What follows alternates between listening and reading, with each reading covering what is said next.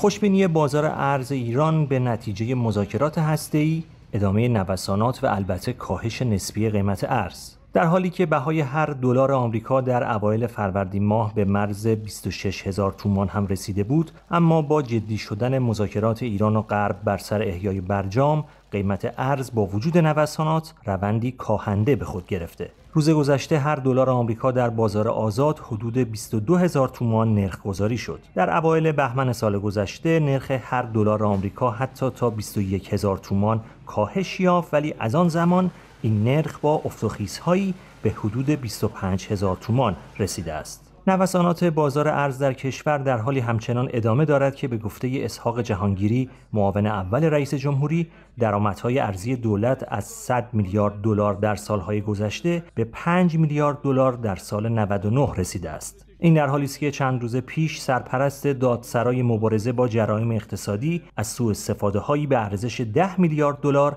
از منابع ارز دولتی خبر داد. طی چند سال گذشته گزارش های زیادی از تخلفات مالی در رابطه با ارز 4200 تومانی منتشر شده. این ارز که به دلار جهانگیری معروف شده، به گفته معاون اول رئیس جمهوری، مصوبه سران قواس و وجودش به گفته فعالان و صاحب نظران اقتصادی تأثیر چندانی بر کنترل قیمت ها نداشته و مذراتش بیشتر از فوایدش بوده.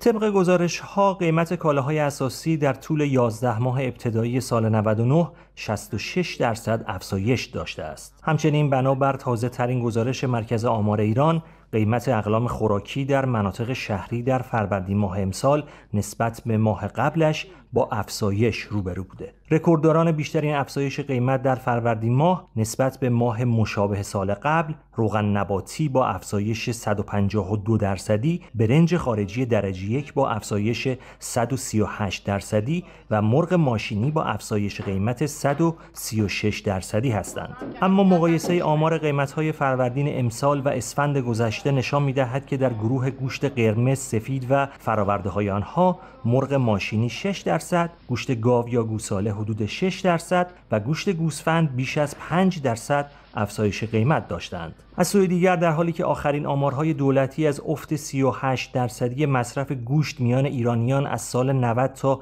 98 خبر می‌دهد، سال گذشته مصرف گوشت قرمز در کشور 40 درصد کاهش یافت. بر اساس برآورد مرکز آمار ایران، سرانه مصرف گوشت در کشور در سال 90 حدود 13 کیلوگرم بود که تا سال 98 به صورت متمادی کاهش یافت و به 8 کیلوگرم رسید. همچنین به نوشته وبسایت تجارت نیوز بررسی های میدانی نشان می دهد در اکثر مناطق تهران قیمت نان به طور غیررسمی گران شده. برخی شهروندان تهرانی هم نسبت به افزایش قیمت و همچنین کوچک شدن اندازه قرص نان معترض هستند. رئیس اتحادیه نانوایان تهران در مورد افزایش قیمت نان گفته که تصمیم گیری در این مورد انجام شده اما با آنها گفته شده که این مسئله را فعلا اعلام نکنند. مهدی تاهباز رادیو فردا